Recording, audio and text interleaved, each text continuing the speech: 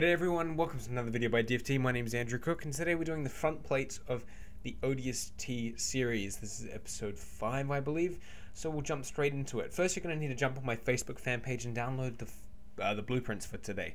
We're doing the front plates so they're pretty easy and this tutorial will teach you how to do them and then you can apply your own custom designs to it if you'd like. So of course we've got to start off, we're just going to draw up the templates. Now you're going to just do the basic outline first and we're going to apply it onto uh, the big chest frame that we built last time. And if it doesn't fit properly or if you think it's too big, just trim it down, not too hard. Once you're happy with the size that fits, go ahead and apply it onto the foam and cut it out so that we have it in a cool 3D shape. Now what you're going to do is you need to gonna, uh, you're going to need to take the center part and make two copies of it. The reason we're going to make two copies is so that we can do the layering effect. I mean, the center part protrudes a bit more than the wings.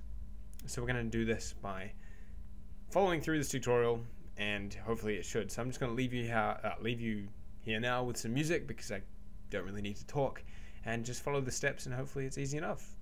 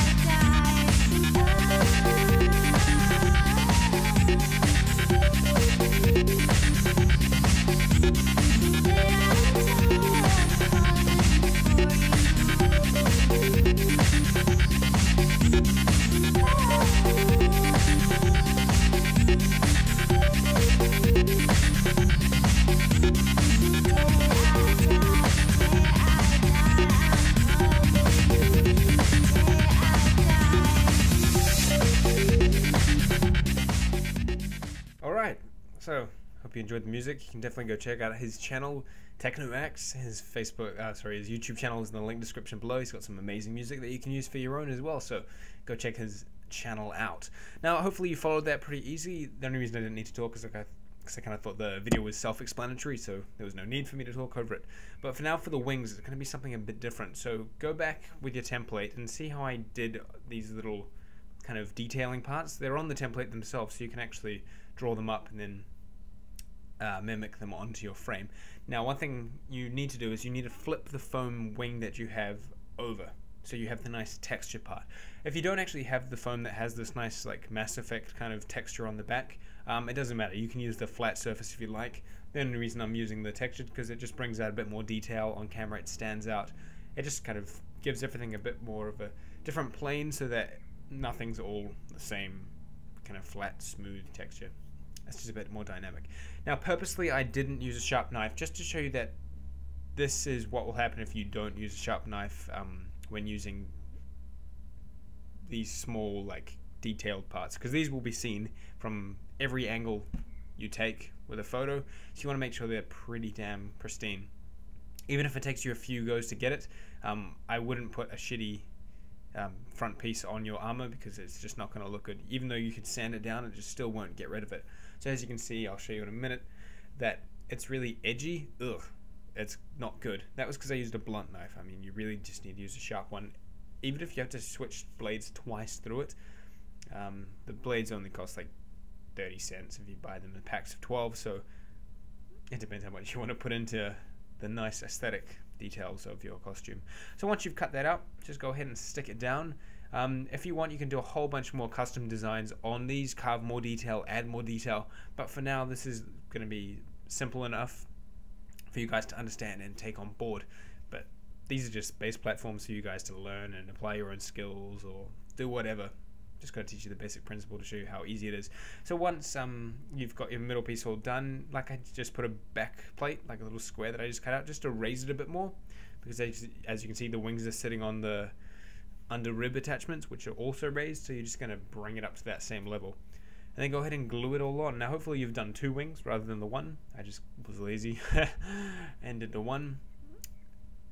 And it should look pretty cool. Now you can do this last little touch, like I said, you can take it further and put a little ring in the middle. Now you can make this out of foam, you can make this out of cardboard, you can make it out of styrofoam, doesn't really matter. Um, honestly, whatever you can do for the better detail. As you can see, this looks pretty crummy um, because I just did a really half-assed job just to show you that you need something in the middle because it just kind of like puts the cherry on the top and it makes it look something nice. So, I hope that tutorial was somewhat informative and you can take what I've taught you here and apply it to your own process, add more design, custom design it. Definitely check your Facebook photos on so I can see how you took it. Yeah,